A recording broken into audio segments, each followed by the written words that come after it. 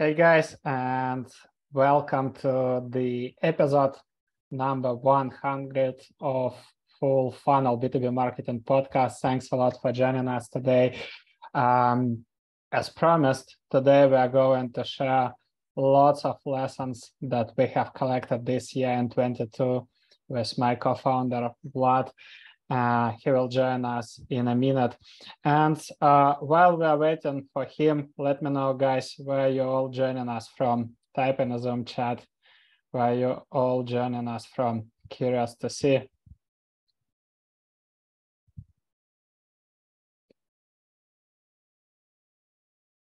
And I would just give you a quick sense of uh, what we are going to discuss today. So uh, as you know, it's the end of 2022, and all of you might be, I assume, all of you are already in a planning mode, preparing campaigns and marketing plans for the next year. I know lots of you are thinking about new initiatives, demand generation, account-based marketing, right? Uh, new marketing programs, and uh, aside from traditional planning, aside from forecasts, budget planning, there are lots of things that I believe it makes sense to include and to consider.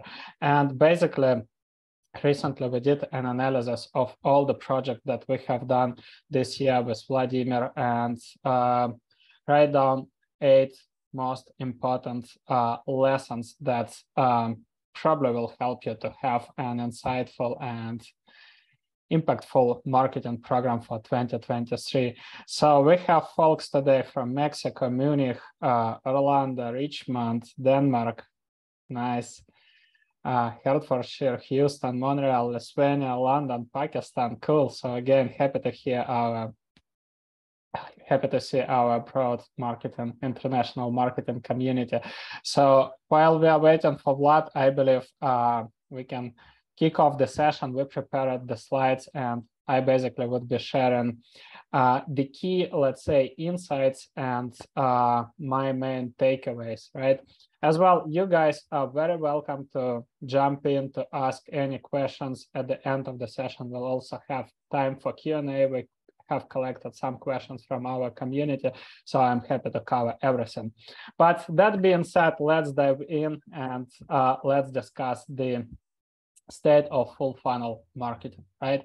First of all, uh, my main observation and something that I would love to share with you is that the role of marketing is changing.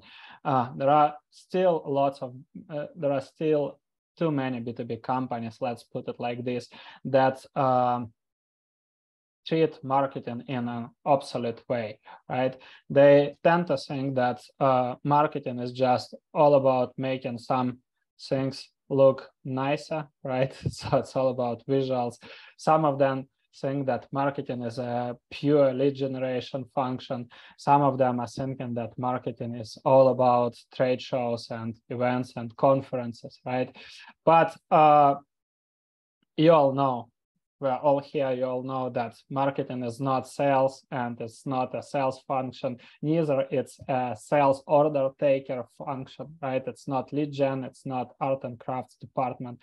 I believe that the role of marketing uh, can be broke down into seven main categories. First of all, all marketing should be revenue aligned, right?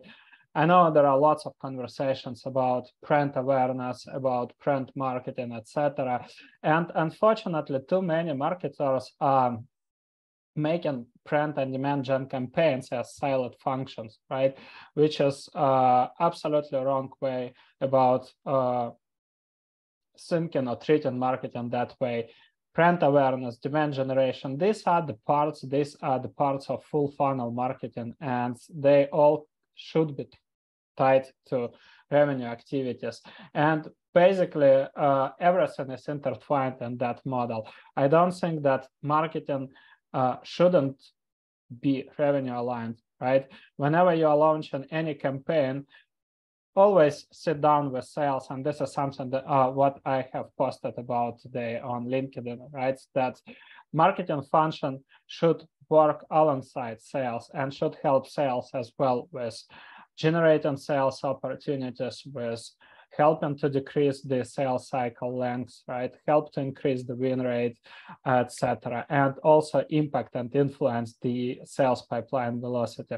Next one is obviously the go-to-market strategy. It all includes defining the priority channels, the understanding the buyer journey and share the buying process with uh, executives, with the sales team, and align marketing and sales processes around it, right? It's also about improving the marketing message, positioning the value proposition. It's all about nailing down and creating a crystal clear ICP. So later you can have a proper alignment with sales and with executives on the campaigns that you're going to launch, why you're going to launch these campaigns, why do you need a specific budget, right? Making the right forecast, etc. Next one, and obviously it's a primary goal, uh, driving awareness and generating demand. But as I said, right, it always should be tied uh, with the bottom of the funnel activities, right? With helping sales to generate it, uh, to generate business opportunities. That's why I don't believe, let's say, in just uh, silent function like marketing is all about demand gen or awareness. Neither I believe that marketing should be all about the demand capture, right? It's a mix of all operations, and that's why we call it full funnel marketing. So aside from driving awareness and demand, obviously, your marketing team uh, should be in charge of capturing this demand. And quite often uh, in B2B marketing, we think that capturing the demand is all about running, let's say, uh, direct ads, right? Driving traffic to landing pages and capturing the conversion. But it's not only about this. By capturing the demand, it's also about tracking the high intent channels. And you can use intent data solutions like Zoom ZoomInfo, Clearbit, Albacross, whatever, right? To track the uh, visitors that are checking your high intent website pages like pricing, case studies, use cases, etc. right? Next one is uh, tracking, for example, the product demo signups, product webinar signups, some of the, let's say, uh, product related events, right? And tracking all the engagement that is happening uh, in between your communication with target accounts. Next one is removing friction points from the funnel, right? So it's all about improving all the points like uh, making a clear price and product explanation, um, it's all about buyer enablement as well. But uh, all buyers, right? Even if we are B2B marketers, we still purchase lots of solutions, right? And even in tech, we purchase our B2B marketing stack. So, uh, and uh, when it comes to purchasing B2B marketing stack, right? Uh, we all have this buyer experience. And uh, quite often I basically that has happened to me multiple times. Quite often I got a recommendation about specific product. I visit the website, I start uh, checking the product, and I have I simply can't understand what this product does. There is lots of slang, there is no product video, and to understand what this product does, I need to go through a clumsy, complicated qualification process, talking to BDM or SDR first of all booking the demo, right? Then uh, getting through the qualification process of BDMs or SDRs and obviously it's just frustrating. So these things. Next one, it leads us to alignment, right? So we need to have a common alignment with our leadership and sales team about uh, what basically it's a summary of what I have already said, right? Uh, we need to have a clear alignment. What does lead mean, right? So we need to have a clear definition of lead because if you don't have it and if you like if it's not approved by everybody, then you'll always be having an MQL SQL debate, right? Or MQL SQL problem. If you don't have a clear lead handoff process, you'll always be blamed by sales team for generating low quality leads and potentially getting these questions from executives, right? So that's that should be a clear process. Next, whenever you launch a campaign, quite often lots of campaigns are being killed by impatience or wrong expectations, right? So sometimes you have this discussion and we'll cover this today when we'll touch the ch uh, change management, right? Quite often you come up with the campaign and you start talking to, let's say, sales about what are your biggest bottlenecks. So they describe you the bottlenecks, and one of the bottlenecks, let's say, is that your brand is uh, not well known on your market, right? So that's why you're losing the opportunities to your competitors, to your competition. So you come up with one brand awareness campaign, right? And then you sometimes like, especially if your executives don't have marketing background, they might be thinking about this campaign again in a linear way. So let's do, I don't know, let's have 10,000 impressions of our demand gen ads, and these 10,000 impressions should generate inbound opportunity.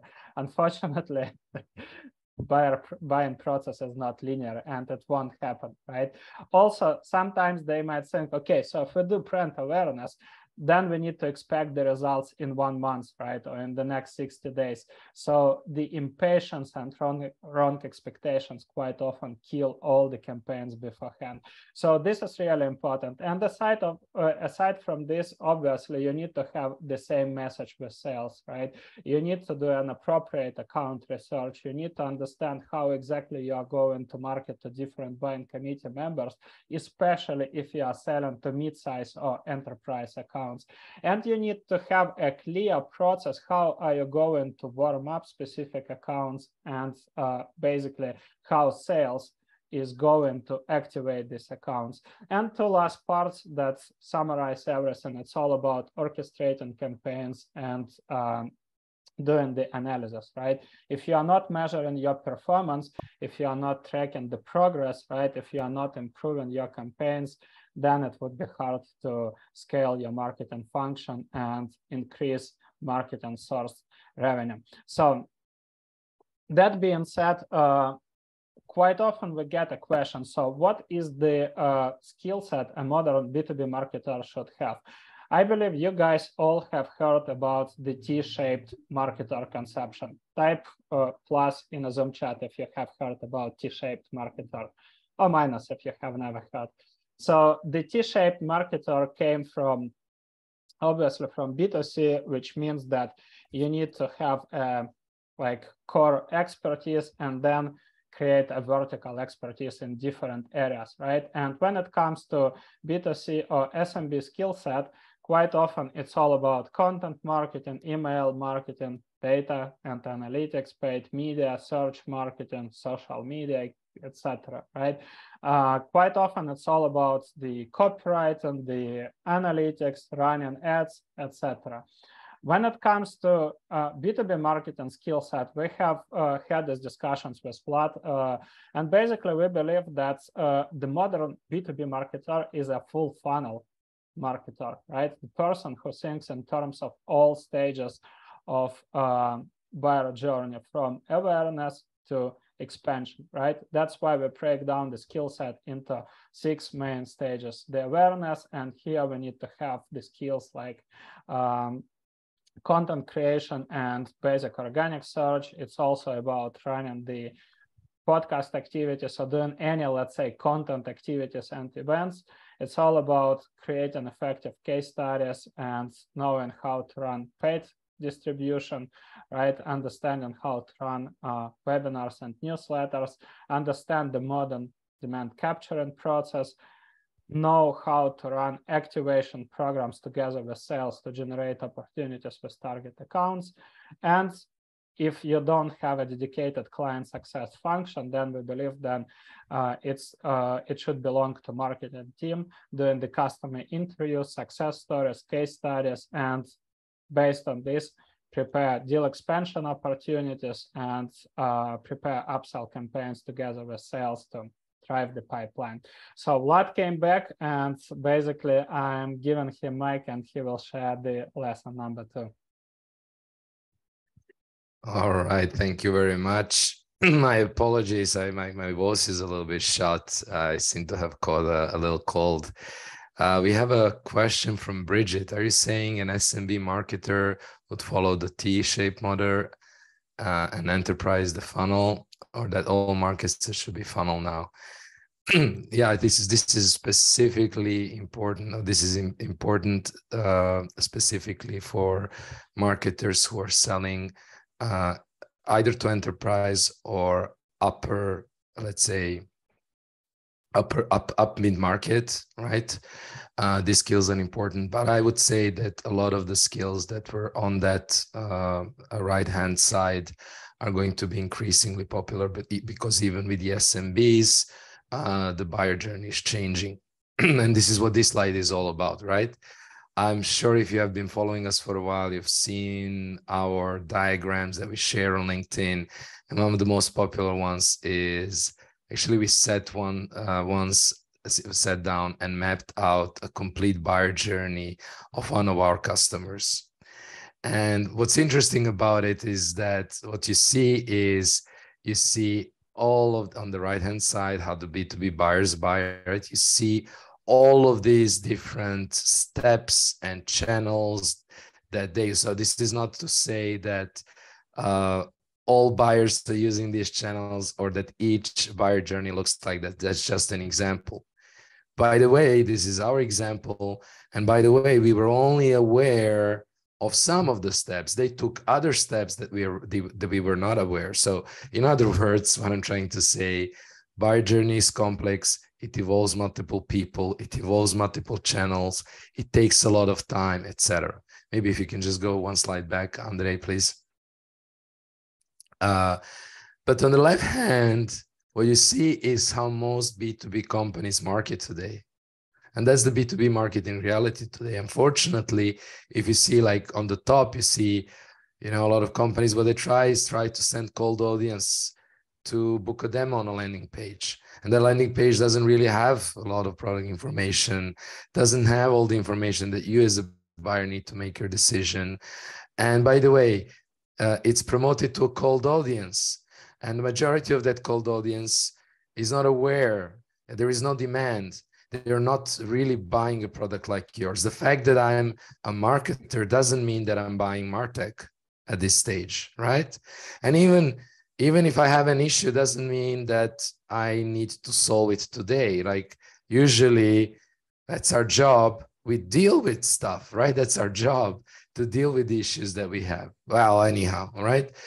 The next uh, or a, or another way that B2B companies market is well they, they they say okay maybe we are not going to send cold audience maybe we're going to educate them and by educating I mean maybe they set up a webinar or an ebook or a white paper. And then again they promote this whether it's paid or otherwise. They generate leads and send those leads to sales. You have the same problem. You're not generating these people are the fact that they attended a webinar or downloaded a white paper obviously is not a buying signal and we will yeah by the way sarang yes we will we will share uh, slides uh, we can share slides no problem and recording will be available on youtube and spotify apple all the podcast stuff um so the fact that somebody attended a webinar, you attending this podcast is just because you're interested to learn. It doesn't mean that you are they're interested to buy our services. Like we, I can't if I assume that everybody who is attending this podcast is well, prove me wrong. Let me let me know, please, in the chat. Everybody who wants to buy from us, or or not, maybe better asked let me know with the plus if you don't if you didn't have intention to buy from us but you joined this event just to learn from us uh, please please do that i'm really curious because i would I, my assumption would be that the majority the vast majority if not everybody joined just for the educational value. And yes yes. Educate exactly exactly. So let's uh let's be let's be uh let's let's let's be in line with that. And that's that's the whole point right? So if i am if i am going to uh treat you as a lead and send you to sales or do a sales follow-up on you you're you'll you will be annoyed right? So big why? Because that's not aligned with your buyer journey and at this stage you're only interested in education. So maybe we can move on. And so what you need to do, because you saw the, the complex buyer journey, now let's map that journey to the actual uh, full funnel, to the actual process of, you know, becoming aware of, you know, the problem or an opportunity, having a specific maybe trigger in your organization, uh, to learning about potential solutions to your problem, discovering different kinds of solution categories, deciding to maybe saying, okay, we want to implement AB. And so my problem was that I need to generate and more enterprise sales uh, ready opportunities. And I was, you know, looking at different things, and I decided that maybe ABM is a good fit for us but then you will going you're going to go and start thinking do i want to buy abm software? Do i want to hire an abm marketer? Do i want to work with a consulting or a training company and etc so it's going to be a long process going through all of these stages right? Um and manoj i had a plus one so I'm targeting process doesn't know. There's a problem within the organization and we have a product to solve it yes. Uh, So look, I, I think that uh, this is a good question, right? And so we are talking basically uh, about the first phase here. We're talking about awareness. Now, so there is a nuance in what, what in your question because you're saying prospect who doesn't know that there is a problem within the organization, right? They need to be aware of a specific issue, maybe there is a broader issue. For example, if everything is going fine in the organization or they don't perceive that there is any problem, it's it's going to be difficult for you to uh, convince them that they have a problem. But, for example, I don't know what you're selling, but let's let's go back to ABM. Um, if I if I go and I, I want to convince somebody that they uh, need ABM, right? So what is the problem that ABM solves? How to land, for example, enterprise leads? Well, if they're, I can maybe help them. They need to be aware that they have somewhere a problem in their pipeline. They maybe missed the targets. There has to be some bigger problem that they're trying to solve or or a goal okay we need to grow this much next year so what are ways in which we can grow right? There has to be a, a bigger goal or a bigger problem. And now i can maybe point to a problem they didn't know they have maybe i can teach them that they need to analyze their uh, crm and figure out that actually the majority of their revenue came from you know a few big clients and all of their marketing is focused on the small clients. Okay now i can like start creating awareness of the specific problem that is part of the bigger problem. But if there is no urgency if there is not that trigger like we missed the targets or we have this ambitious goal for next year etc etc it's going to be uh, uh, very very difficult. So um, okay so as you can see on the right hand side, you have all these different steps in the buyer journey.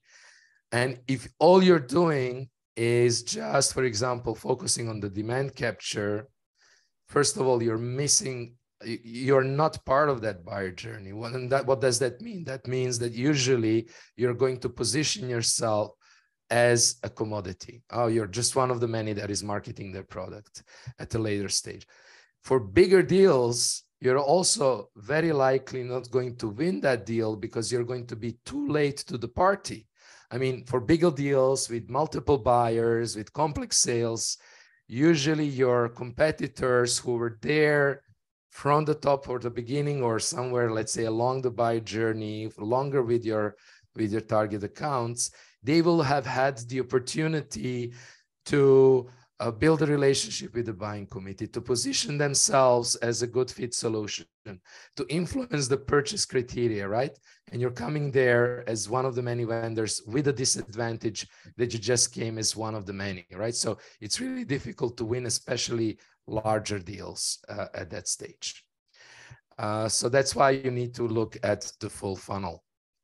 maybe Andrei, uh, if you have a next slide or yes. Yeah. So this all leads us guys to the point of change management. Even if you, let's say, support the idea, you buy in everything, right? You buy the full funnel methodology. And or even if doesn't matter, right? Maybe you are already like partially running it and you want to introduce new initiative or you want to change something maybe you joined a new organization a new department and you know that the things that uh, the way they are currently working i mean marketing and sales processes it won't help you to grow the business and it won't help you to hit your targets right? Uh, lots of you um, were working at one point, I believe, or maybe working currently for companies that cultivate, let's say, lead gen function, or we call it lead gen led organization, or company centric, right? Uh, these companies are easily to recognize. They don't have a clear ICP and they have pro targeting, right? Especially it's uh, the biggest problem we see in IT space, or more precisely in software development there are like thousands dozens of thousands software offshore development vendors. And what they are doing they say uh, they basically spam everybody on linkedin or by email saying hey do you need mobile app or web development or whatever right? Let's have a talk. And just because you have a title ceo vp of something right they're just spamming uh, spamming you and they play the game of numbers. Because the number one goal i mean we don't have a, spe a, specialization just tell us what we need. And the assumption is that i mean we just need to make aware everybody on our target market which is something like startups in entire world right? Targeting millions of companies. And that's it. By the way guys uh, have you ever received this cold spam from software development vendors? I'm just curious to hear. Type plus if you have ever received this. I'm basically just because I have a title co-founder, I'm getting more than 20 these spammy messages every single week, despite that we have no technical product. we are always being spammed. I don't know about what, but I get all every week I get more than 20 these emails and messages. Curious to hear if you have the same experience. I, I can't see the chat, but Vlad, uh, yeah, absolutely. All the time. Plus, uh, I think you should have asked how many of those do you receive per week because everybody yeah. for sure does that. So what else here, right? Uh, these organizations typically have lots of friction points, and by lots I mean really lots, right? Gated demo. So I mean, we have seen some companies that are afraid even to show what the product does. They put like slang that nobody, if you if you are not in that space and you don't have a very technical knowledge, you will never understand what the product does. And you can see the features right? You can see how the product operates. And then if you want to see to at least to understand then you need to go through the qualification process right? And it, probably you guys have seen this uh, fancy movie right? When a person comes to uh, to a store to purchase a t-shirt and then this person was qualified. Hey can i take this t-shirt? No you just need to book an appointment with our store manager. So this is ridiculous but this is what is happening in the modern world, right? Uh, and then you, even despite the fact that uh, you might be they even they never look at at, at uh, your like position and how you can use the product. Quite often these companies what they're doing they're just looking at your team size and uh, in most cases they have access to Clearbit zoom info. They say ah you're small company disqualified. So this happened to me once and it's really a funny story. So i was looking for an abm platform for one of our clients and i was in charge of the research i was booking the demo calls with the uh, with different abm vendors and basically I was disqualified by one company. They told we are too small, but I told I'm not purchasing it for full funnel. I'm I want to purchase it for our client, and this is uh, to 2000 uh, employees company so quite big with a big marketing team and a big sales team. And the sdr he even didn't allow me to see the demo but what's what is the most ridiculous part that a year later this company reached me out when we were hosting our second uh, annual full funnel summit. They reached me out and told, "Can we sponsor your summit?" And I'm saying, "So I'm not too small right now for you." so it was a really ridiculous situation. But anyhow, uh, they're afraid to show price, right? Because competition can see it, but it's not a big problem. I mean, sometimes I know that companies are afraid to do it, but when I was doing research, whenever I want to get the price, I can easily do it. Even if these companies know me, I can ask I don't know anybody, my friend, my peers to do quick research, book the demo, on behalf right of their company and then they provide me this information. There is no problem to get the price and so sometimes it's really ridiculous. And of course no detailed use cases. So this fear of my competitors will you my know-how right? And steal something from me. This is this obsolete mindset that creates the friction. And quite often even the most creative marketing campaigns are killed beforehand just because of these factors. But in most cases, marketing won't be allowed to do any creative, no brand awareness, no demand generation, forgot about the stages. Marketing will be strapped for direct response ads, gated content, product pitch webinars, and sales will be in charge of cold sequence outbound. In these organizations, marketing is measured by leads, MQLs, cost of acquisition. So the main target is to generate more leads for a lower cost, right? And obviously CPL cost per lead should be declined. All the campaigns are measured in a, uh, they uh, have a short time frame and whenever somebody wants to launch a new initiative, it's usually a one-off campaign. Even in our case, uh, we know the companies, that's why in our process, we have one preliminary stage before committing to long-term engagement when um, basically companies tell us that uh, we discover that uh, their mindset account-based marketing, it's all about, you know, creating one-time campaign not making it a process, but just one time campaign, which is like a fancy, uh, maybe fancy replacement for sequence called outbound, right? So we'll do the direct mail or whatever, and boom, we'll have a full pipeline. This is this all obsolete mindset. So why I am sharing this with you? That because if you guys decide to launch anything new year or change anything in your organization, right, you will be dealing with change management. And make sure that everybody in your organization has the, run, uh, the right expectations and the correct mindset, right? So if you are going, um, you probably have seen on the right side, right? Uh, what does it mean to be a full funnel marketing or buyer-centric B2B company. The main KPI is the marketing source pipeline and marketing source revenue. And every marketing campaign, de depending on what stage it belongs to, awareness or demand gen, right, or activation or capture, every marketing campaign has its own set of metrics because you can't measure brand awareness campaign the same way as you are measuring activation campaign. Makes no sense. But in most cases, in most cases, as I said, lots of organizations try to measure everything by lead and they try to justify everything, every single touch point, right? Something that Vlad recently posted about to understand and appreciate the touch points without conversion, right? There are so many things that are happening outside of our attribution and outside of our horizon, right? And we need just to accept and understand it. And whenever we do full funnel marketing, it's a long-term strategy. It's not an immediate one-off initiative that will just overnight provide a success. So that being said, what is really important and some practical takeaways, right? Gradually introduce new initiatives.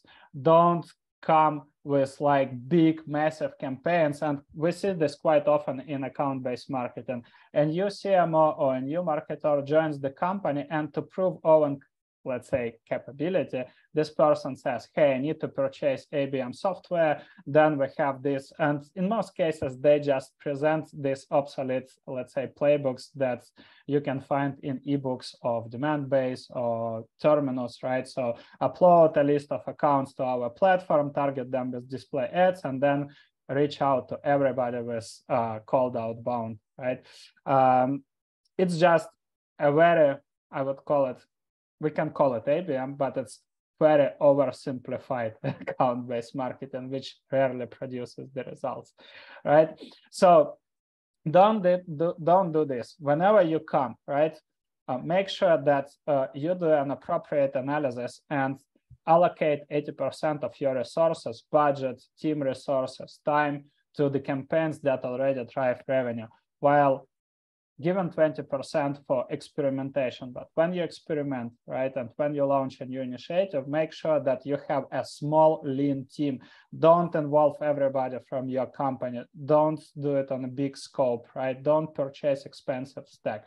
Make sure that you build the process first, right? And present the in-house results and later you can scale it.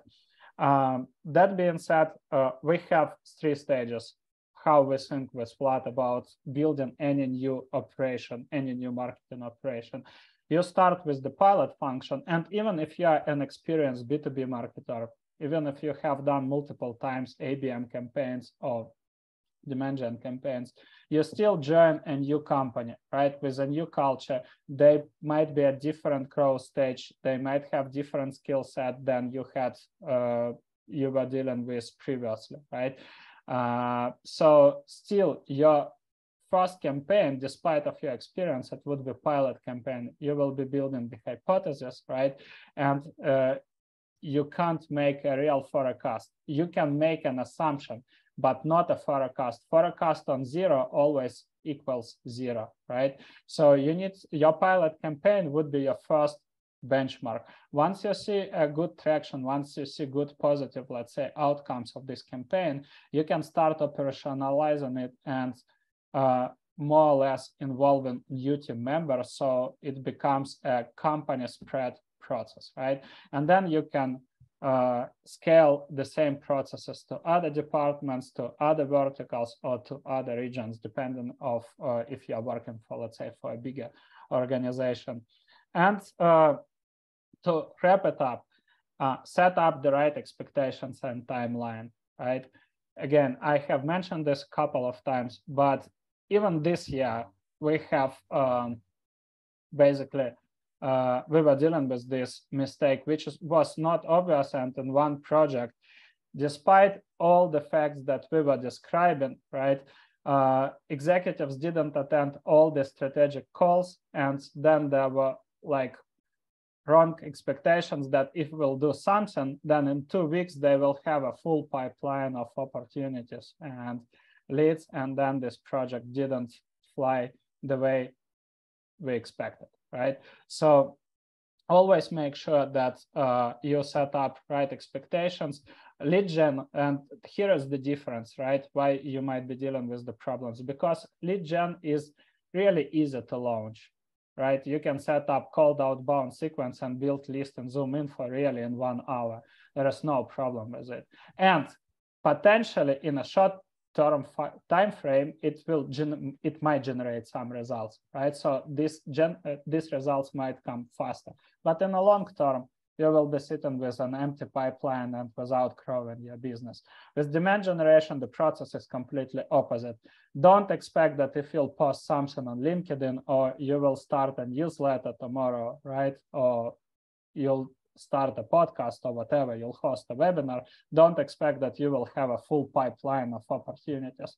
But with a matter of time, with a matter of growing your brand, right? With a matter of doing these activities consistently, you can expect it. And then demand generation starts outperforming lead generation. In this case, of course, I'm thinking about siloed functions, right? But this is what we said. I, in an ideal world, you need to blend the models. You don't need to think in lead about lead generation in terms of this obsolete cold outbound, but lead generation should be exactly the way of activating engaged accounts together with sales, having this centralized playbook, right? Having a clear leads handoff process and having a process to generate opportunities with these accounts. So let's move to the uh, I see lots of uh, lots of uh, questions, but unfortunately I can't see the chat right now while sharing the screen. Oh, there were some questions about the axis. That's clear. Um, but uh, let's talk about the next topic, right? what, we'll catch up with everything uh, during the Q&A part. Yeah, absolutely. Uh, so the next point is what we see very often in organizations is that, excuse me, companies have a lot I, I don't think this will work, Andrei. I just had one podcast and I had another uh, uh, uh one uh, live course that I did, and it seems like my voice is giving up on me.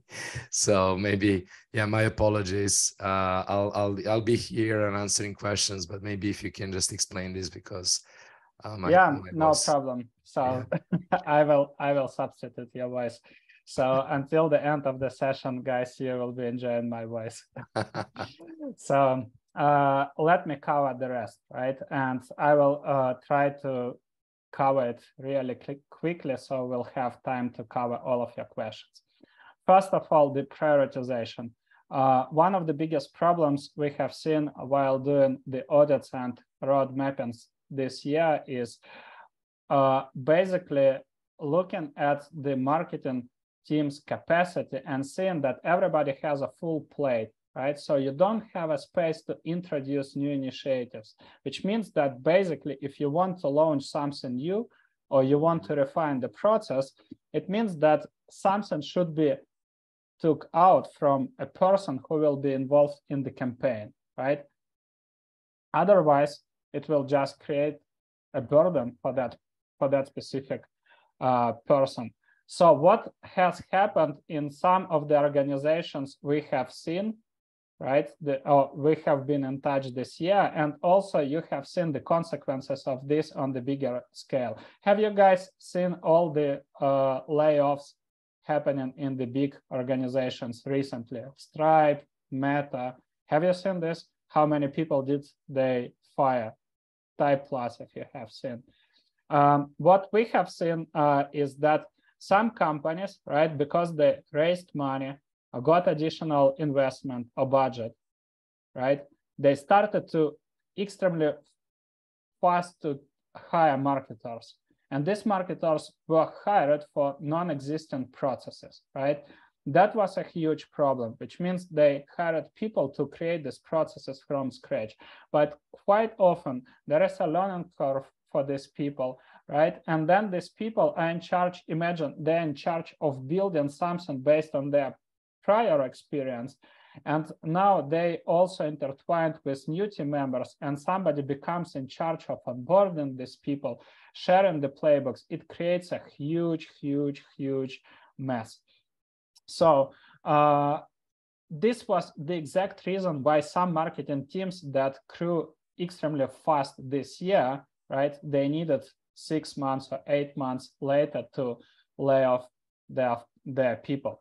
Another problem is that some of the folks, right, uh, let's say the problem with the full plate, some of the folks had too much on their plate and then let's say CMO or VP of marketing or like somebody from senior leadership starts to add in more tasks or saying, hey, I want you guys to launch this initiative, but where I'm not going to take something out of you, right? It's just a new campaign. And then it becomes a problem. This person becomes in, uh, basically this person or people start dealing with a problem, one, learning curve, right? Because this is something new.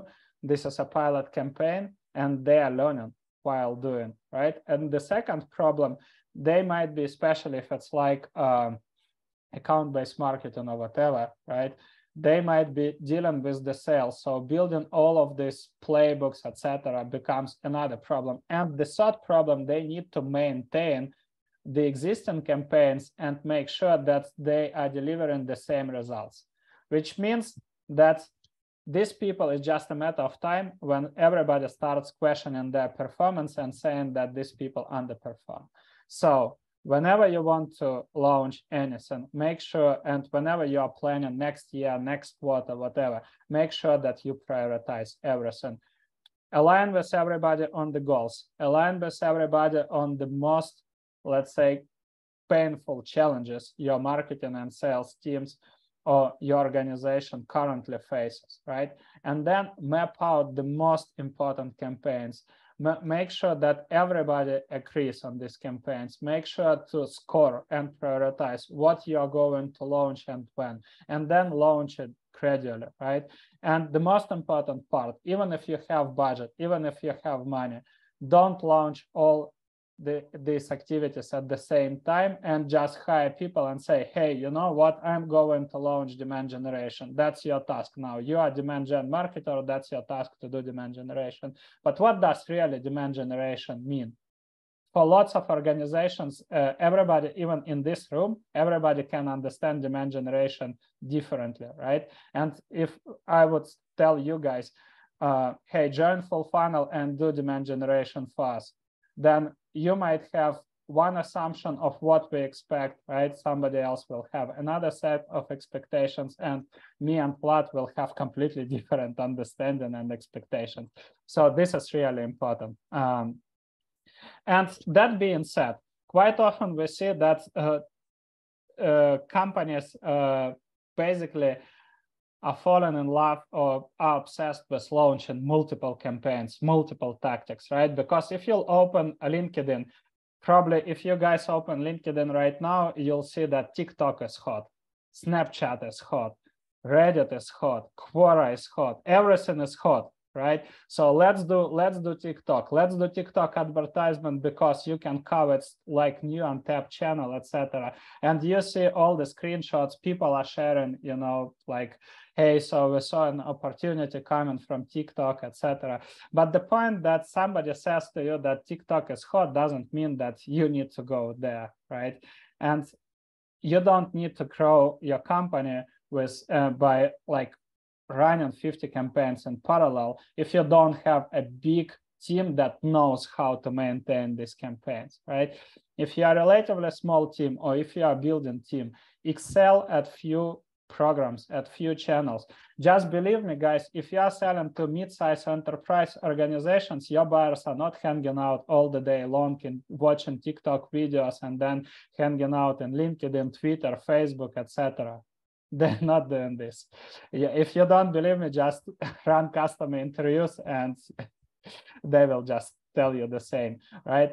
So that being said, quite often you can scale your company by maintaining, but uh, on a high level, on high professional level, several campaigns on several channels. For us, you can see the uh, why we are mentioning with Vlad 2021 because this was the first year of full fullfunnel.io was just it's it's it was just two of us right? And we did only i mean regularly right? We did only four regular operations. Weekly podcast daily thought leadership on linkedin monthly webinars and weekly email newsletter. So the results 63, uh, 63 inbound opportunity 600k pipeline right?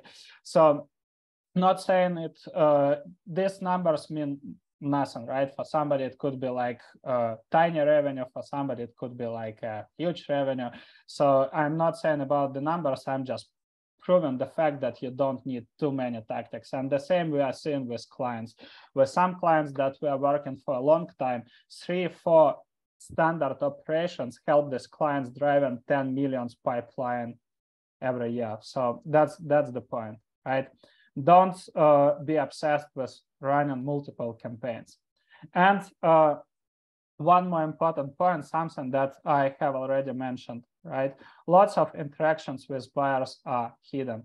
You won't see, yeah, somebody, some of you joined the webinar today, not the webinar, this is our episode number 100 of Full Funnel podcast, right? Some of you might recommend our podcast to friends colleagues, peers, or maybe share the podcast inside the organization.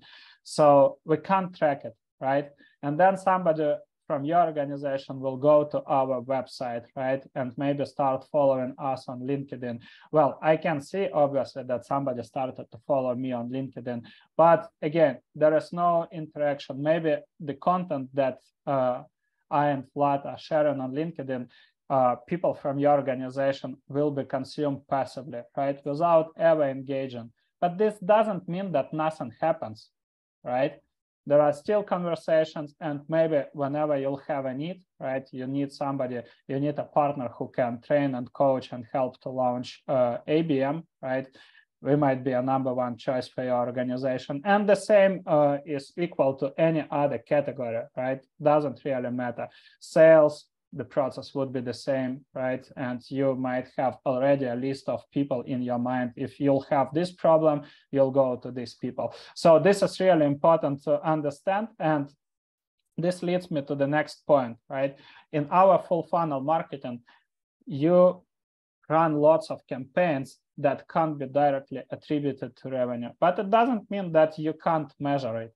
You still can measure it, but you need to have a blended model, right? First of all, what blended model stands for? You have heard about this one. How did you hear about us web form? But don't just blindly follow this only one advice. So if you have only this one, right, and you rely only on, on this self-attribution, what you will do, guys, if you have this form and somebody says online, so what are your takeaways? Share with me in the Zoom chat. So if you want to make, a, let's say, you want to make a data-driven decision, right? You analyze your self-attribution web form, and most uh, replies are internet or online. So, what kind of decisions you can make? You can make. Sorry. Let me know in the Zoom chat. I will check your replies later. So, the point is obviously that it's really hard to make any decision based on it, right? That's why you need to have also you need to look at digital attribution at all traces, at all digital traces that you can identify this somebody from your organization sign up for this webinar, for example. Somebody has joined our trenches community. Somebody follows or engages with you on LinkedIn, right? Somebody has uh, visited our website and checked the case studies. Somebody consumed our content in ABM Content Hub. These are all digital traces that give you a clue what's going on, right? Uh, what kind of, let's say, activities impacted. I'm not saying that's uh, attributed, but impacted the buyer process. And finally, you can enrich all of these insights with customer interviews. We always say that customer interviews is the uh, process that gives you most of insights, right? This is where you can extract the knowledge, you can ask about the triggers, what was happening in the business. Uh, so they decided to start looking for solutions like yours, right? Uh, where did they look for information? Uh, did they advise with anybody, right? What channels did they use for the research? And you can collect lots of insights, especially if you install this process in your operations, right? And you do it right immediately after signing the deal. Next, you need to have to make sure that marketing performs well, right? Because if you want to change the mindset, uh, you need to show the marketing source revenue. So obviously, if you post something on LinkedIn, right, you won't get, uh, I mean, as a consequence, as a consequence, you'll be getting inbound opportunities at some point, right? But it won't be happening that you post something on LinkedIn and people will go to your website and start booking the demo calls like crazy, right? Obviously, it never happens. So but it doesn't mean that this can, like thought leadership should be measured by leads, right? It's an obsolete way. And again, this belongs to lead gen led organizations. So for every campaign, you need to set up different indicators, right? Leading indicators that show that something happens, right? That's really important. So this is uh, what you can see on the right side in the campaign report. And this is a simple, by the way, report that we usually create for LinkedIn thought leadership. And finally, the revenue report. Uh, for me, what I would love and how I love to measure marketing performance. I want to see at uh, on marketing source pipeline. I want to see I want to look at marketing source revenue, and I want to see I want to look at sales pipeline velocity, velocity, sorry, dynamics. I want to see the positive changes. I want to see that everything that I have done this month or this quarter positively impacted bottom uh, the bottom line, right? That's the most important thing, right? And it doesn't matter because it's it's obsolete way to say, hey, so let's measure the thought leadership against I don't know webinars. It's not it's not one versus another. This is the marketing mix, right? And that's why we have full funnel model. So to prove that your marketing works, always show the market and source pipeline, market and source revenue, and the positive changes in the sales pipeline velocity.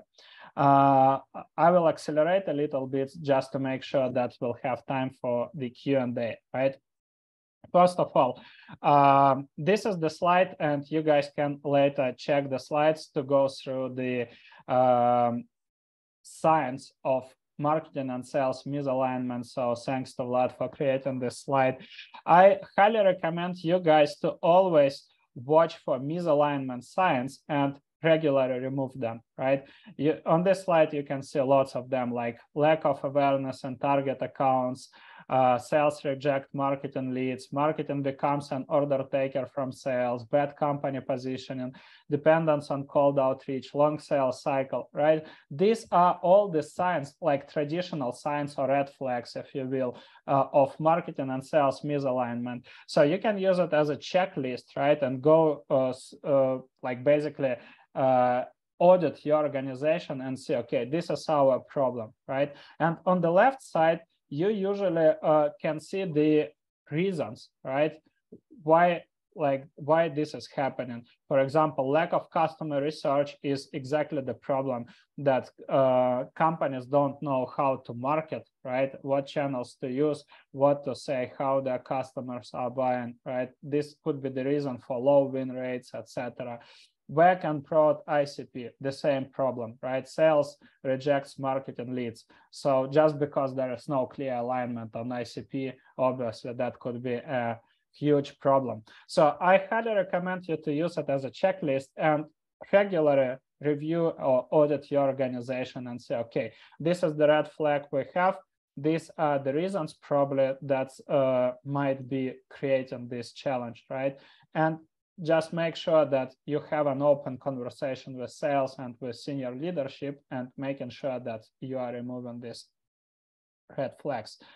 Next one, something that I have already mentioned, and you, as you can see, uh, uh, as you probably saw on previous slides, that full funnel model is a cohesive model. That's why we don't believe in siloed functions in lots of communities and as well on LinkedIn, quite often I see a conversation ABM versus demand generation because these are two, let's say, modern marketing, B2B marketing tactics everybody is talking about. That's not about one against another. When, whenever you have conversation one against or one versus another, another, you are creating siloed functions. These are integrated functions, right? In this case, demand generation supports account-based marketing with engaged accounts, right? Companies that demonstrated uh, interest, potential interest in your product, right? These companies, um, uh, whatever, engaged with your content, something that I mentioned, right? Visited high intent website pages, etc., etc. And then this, uh, the best part is that these companies are already aware of your brand and of your product. So now ABM team marketing and sales can take this account for further warm up and activation, right? That's the point. So whenever you launch something, don't think like about any new program as a siloed function.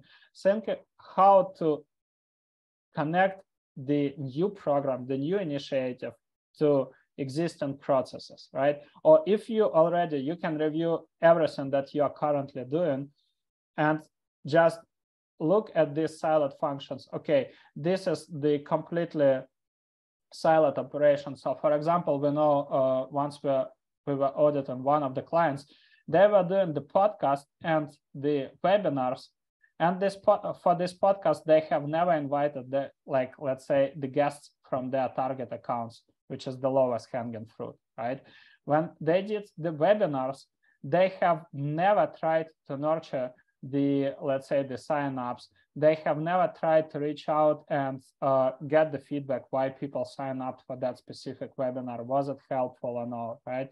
So this is a perfect example. And my recommendation for you guys, don't think in terms of siloed functions. Always think uh, in terms of blended or cohesive models.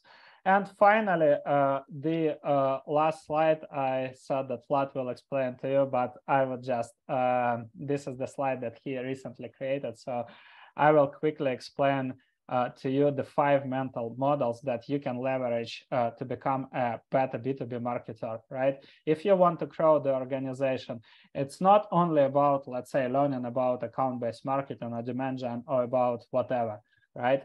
Uh, there are five principles that we believe you need to have to become a successful marketing leader. The first one is the 80-20 principle. And uh, if you have never um, read the book called 80-20 by Richard Koch, I highly recommend you to read it. It's just fantastic book that will change the way how you are thinking about the marketing, right? We always say that you don't need uh, more leads right? You need less but more qualified accounts with a high probability to purchase your product, right? Um, this week I shared one of the case studies uh, we have done uh, with our clients where we had only 13 accounts, right, in our campaign, but we generated seven opportunities. So 50 4% conversion rate. Less tech and tactics, more strategy. Make sure that we always spend more time on preparation, planning, analysis, and then the execution. Execution can be done relatively fast. Whenever people look at our case studies, they believe that uh, some of them think that uh, the key to success is creative direct mail outreach, but they neglect all the fundamental work that we are doing before that creative outreach. So they look only on the, let's say, this final piece of the cake, but they don't look at the preparation process and the recipe, right? So that's the first one.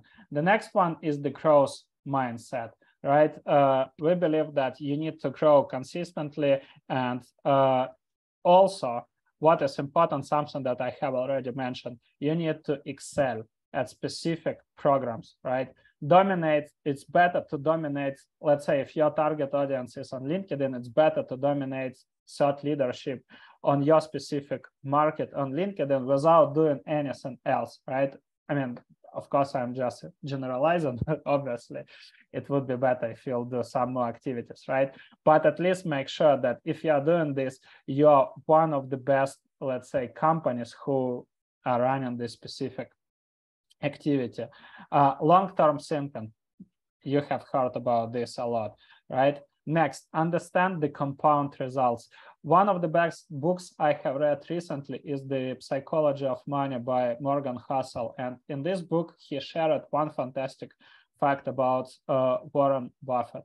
So he said that his uh, net worth, uh, or let's say 75% of his net worth was generated in the last 10 years and why? Because of the compound interest.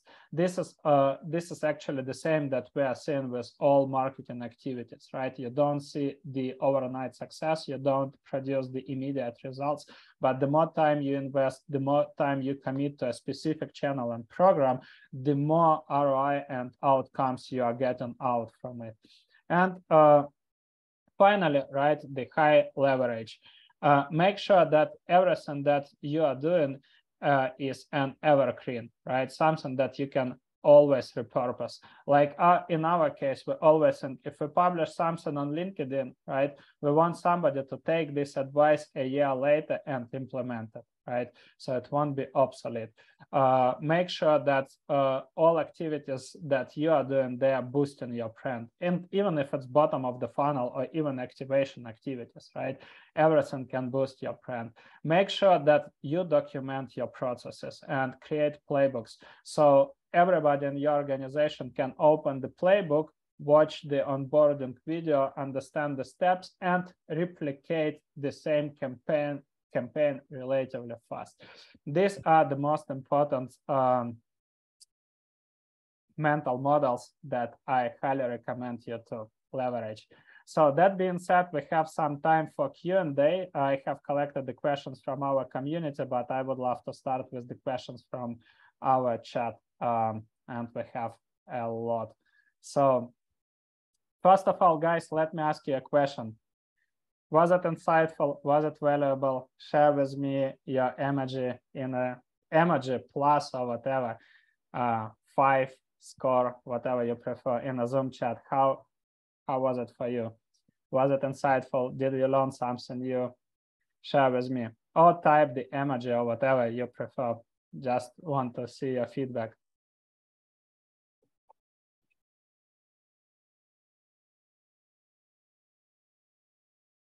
Yeah, thanks a lot. Thanks a lot for the feedback. Appreciate it, guys. Uh, okay, cool. So let's cover the questions. I see that Vlad, yeah, Vlad covered a lot. Vlad, let me know, please, if I need to pick up any questions from the chat. No, okay, good. So uh, guys, if you want, you can uh, switch on your camera if you want to ask your question live, right? So feel free to tune, uh, tune in and I will unmute you. So uh, you can ask live.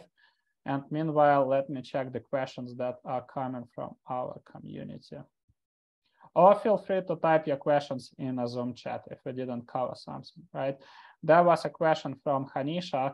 So B2B market, marketing in a recessionary environment with slashed marketing budgets.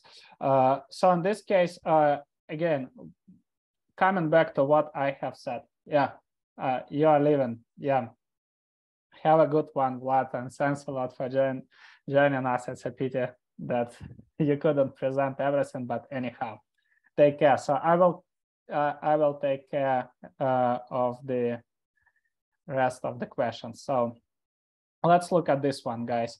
Uh, B2B marketing in a recessionary environment and with slashed marketing budgets. Uh, in most cases, the budgets are slashed if the leadership doesn't see the marketing impact on the revenue. You know how it's happening if, if we'll use the fi financial terminology, right?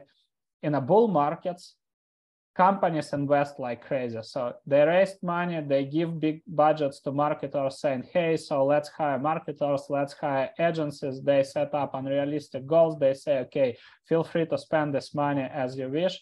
But when we have when we are dealing with bear markets where we are right now, right, then every single cent that is invested in marketing is being reviewed. So in this case, I highly recommend you to review all the programs you are running, right?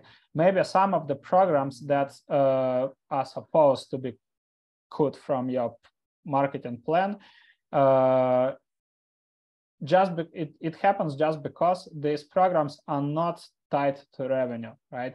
Maybe start with reviewing all of your processes and campaigns. Make sure that you connect the dots. Make sure that you can uh, prove and demonstrate the market and source pipeline and market and source revenue.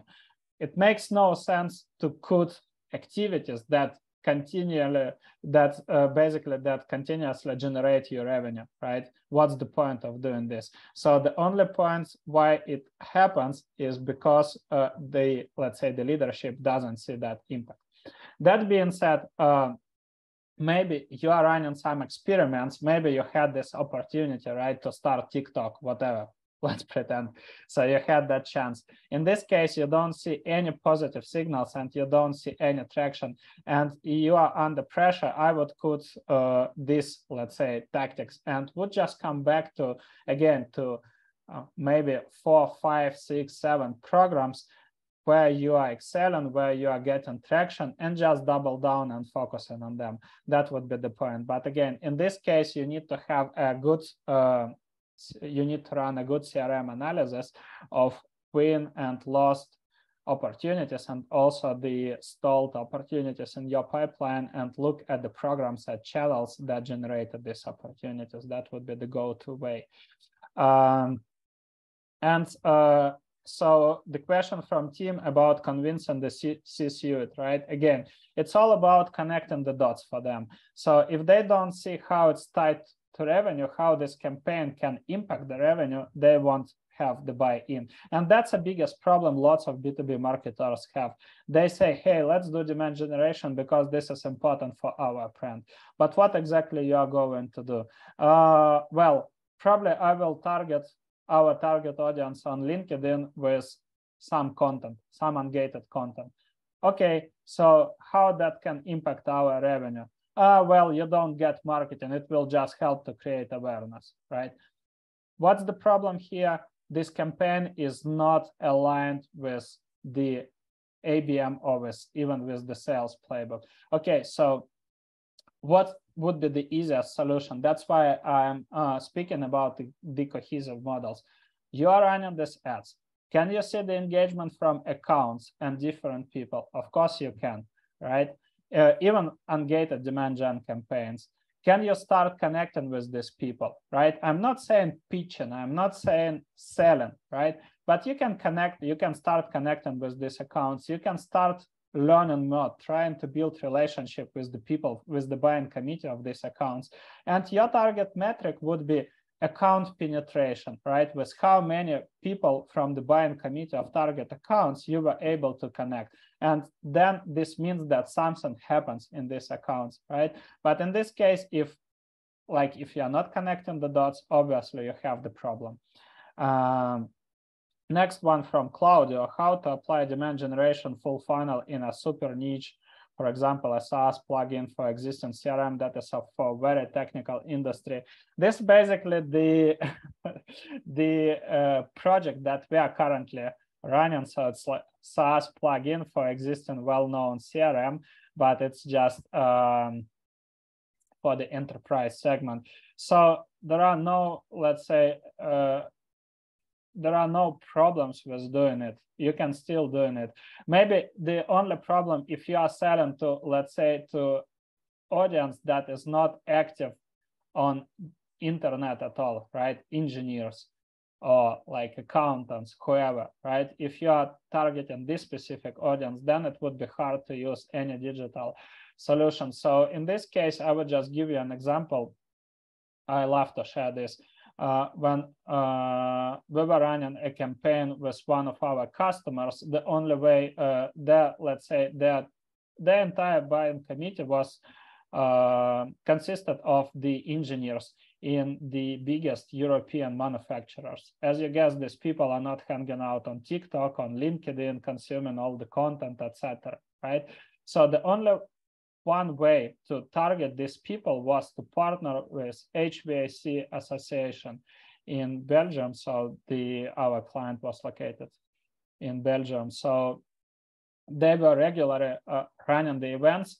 And one of the idea was um, basically sponsoring uh, this association and uh, asking them to create a kind of micro event for us and also bringing one of the thought leader uh, and somebody from our client side to run educational events and the association will take care of promotion uh, to engineers. But uh, what we did with the client is that we partnered with this association on the market research and we agreed that we'll publish it uh, as, let's say, as a comprehensive research on the association's website, uh, but association will help us with booking interviews with these engineers to validate the ideas and lots of opportunities later were generated because of it. That being said, so always think about how to apply the tactics that you have heard about, right? But in your in your specific um, vertical. Quite often you guys hear about the communities, the power of communities. But in some cases, associations are the same communities, right? Your target audience might not be hanging out in a Slack community, right? Like our trenches Slack community, but they might belong to a specific association and this is your community. This is where you need to be presented. So it's not about, you know, like secret sauce or like something that you have never heard about. It's all about applying the best practices that you have seen to your specific business case and to your specific audience. And to understand what uh, basically what will work, I highly recommend you to do the customer research, right? And customer interviews. That's again coming back to one of the most important points I make all the time. Understand how your customers are buying, what uh, channels do they use, if they belong to any communities or associations, right? Where do they uh, search for professional or collect professional information from? These are your main sources of insights. Uh, so if your pipeline is anemic, how do you change mindset of the sales leaders short-term lead gen way of working? So something that I shared and I would just uh, give you a good um, idea, Meredith here the first step I would do is the deal analysis. Let's extract all the win and lost opportunities and also stalled opportunities, right? And look where these opportunities are coming from.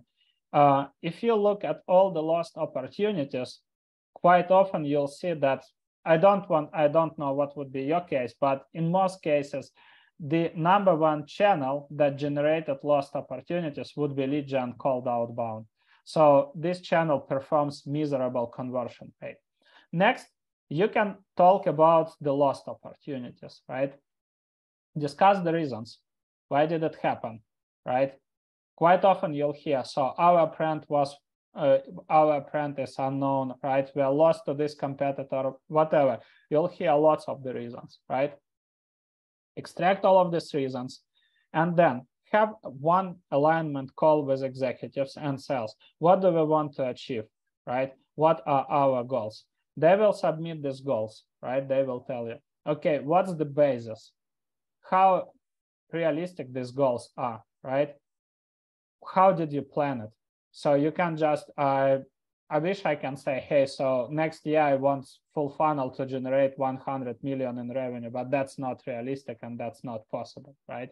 So I need to plan uh, by leveraging the basis where we are right now and look at our sales pipeline velocity, right? This is the realistic way. So you can show the sales pipeline velocity.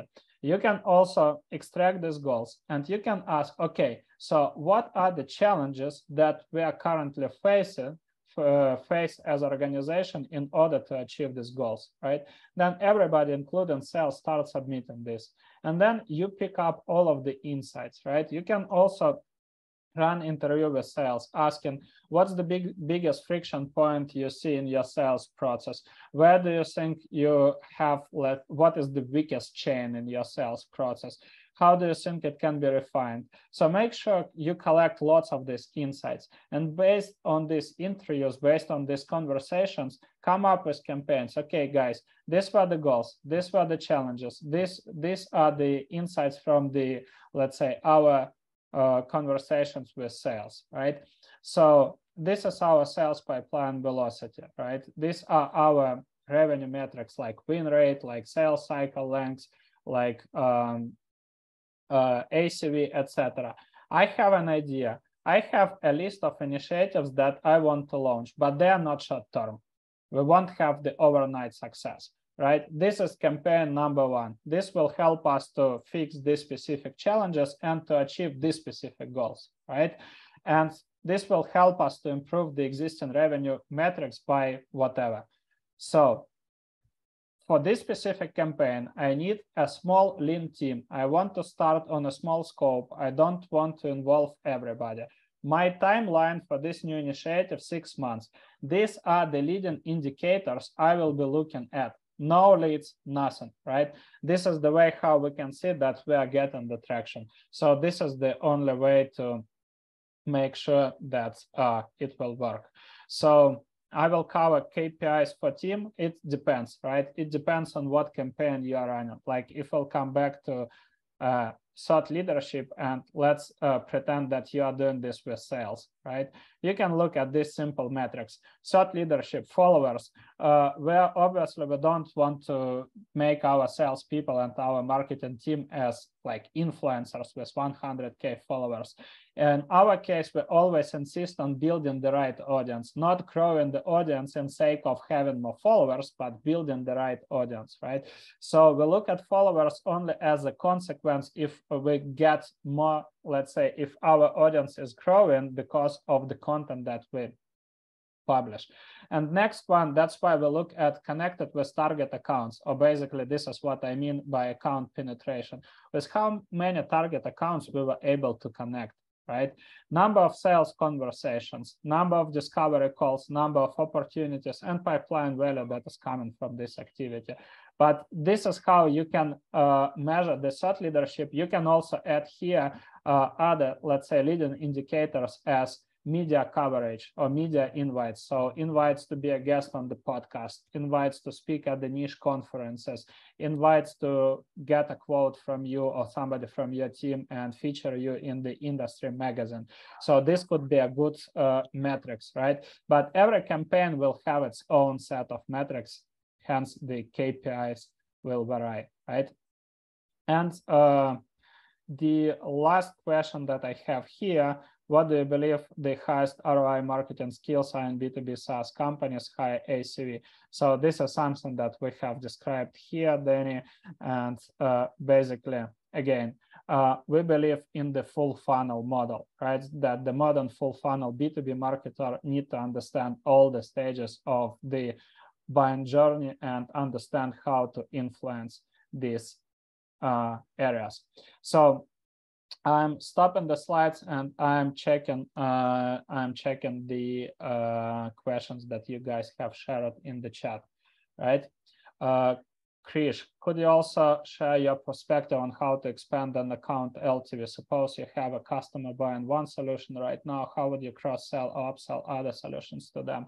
Obviously, and um, by the way, this is the lowest hanging fruit when it comes to launching account-based marketing programs, right? traditionally, whenever a company wants to launch ABM, everybody thinks about purchasing ABM software, obviously, because in most cases they have heard about ABM from ABM vendor, right? And uh, they think only in terms of net new revenue. But the lowest hanging fruit is the expansion campaign. How can you do it? I would give you like a very simple campaign setup. So let's say you have um, let's imagine you are selling to a big corporation, right? And this corporation have multiple departments or branches in multiple regions, right? And these regions have their local teams.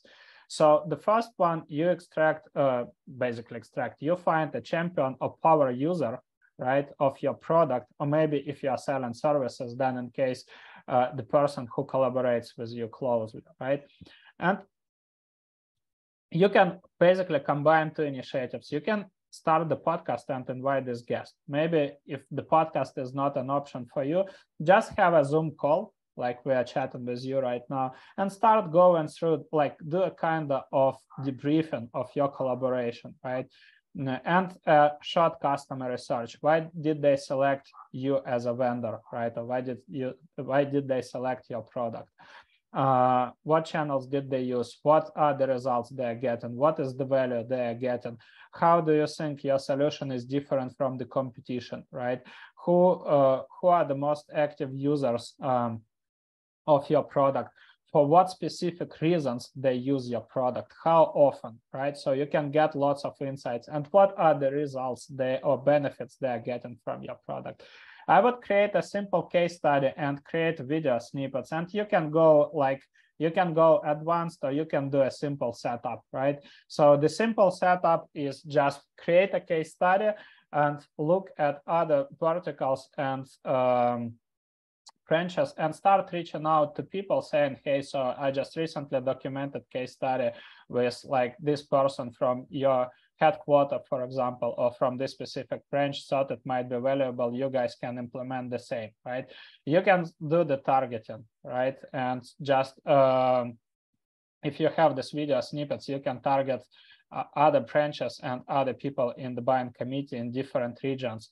Or you can go more advanced to basically uh, plan a, an event, right, with this champion. And together describe the best practices. So your champion can describe the use case and show maybe some screenshots and examples and the results of the in-house product usage.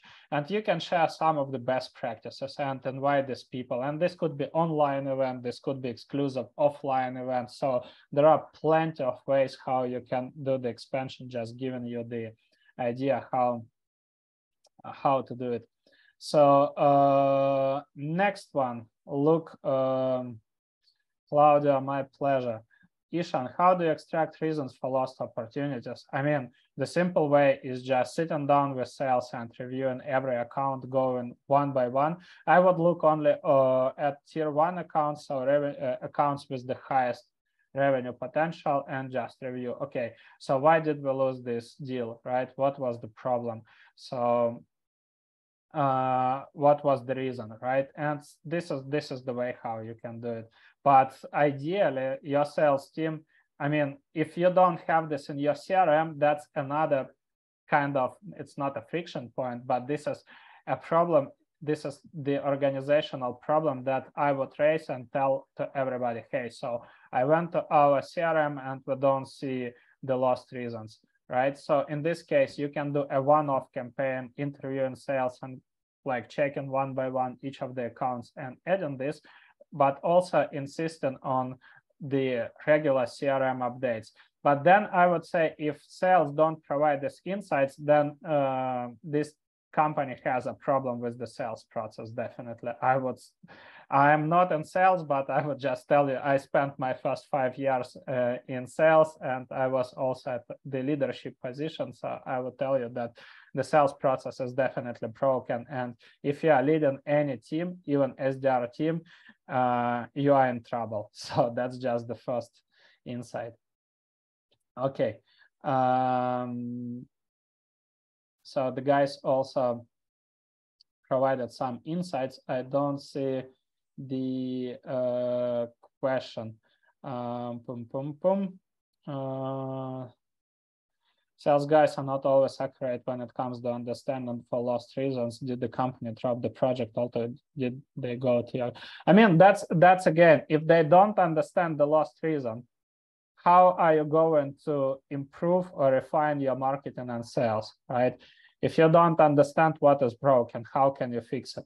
So that's that's the red flag. I would just put my uh, my attention and try to fix it. That's that's the first thing, right? Uh, so happy to help Krish with the insights. Um, yeah, uh, it seems that we have uh, covered everything. So was a brilliant chat, 90 minutes with you guys. Thanks a lot for staying with. This is probably our longest episode, but well, it's uh, number 100. So um, it was a pleasure to spend this time with you. I would highly appreciate if you guys will be able to uh, spend some meet, like basically five minutes and um, review our podcast on Spotify. If you don't mind, I would drop a link. That would be very helpful. Thank you so much for your time. Uh, the recording, the slides, everything will be uh, sent to you by email. Uh, I'm dropping the link to our Spotify channel here. So again, if you can give us five stars, leave a short review, that would be highly appreciated. That's it for today. Uh, next week, we won't have the live session and we'll have few more sessions in December and in 2023, we'll kick off the new season of Full Funnel Live. Thank you so much, guys. Have a great rest of the week. Cheers.